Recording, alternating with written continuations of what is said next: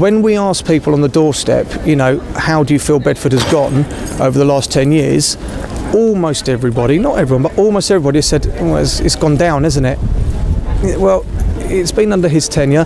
The fact that the trains have gone, the fact M&S might be going, it's all under his watch. And you know, I don't like to criticise, but you know, facts have to speak for themselves sometimes. I think the rural areas is as important as the urban area, um, and and by talking to people, it's clear that they feel that they've been let down by the council at the moment. Um, just on basic things like the states of the roads and, and street lights, um, they they feel like they're the forgotten part of Bedford Borough.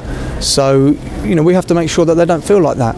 We went across the whole borough, so it wasn't like it was in a localised area. And for the same things to keep coming up time after time after time, they clearly are issues for people. And we know with what's happened over the last few months with, with some of the crime and, you know, things that um, th- these things do happen. And the town centre, let's face it, you know, we don't want to lose people like Marks and Spencers, Debenhams and Beales.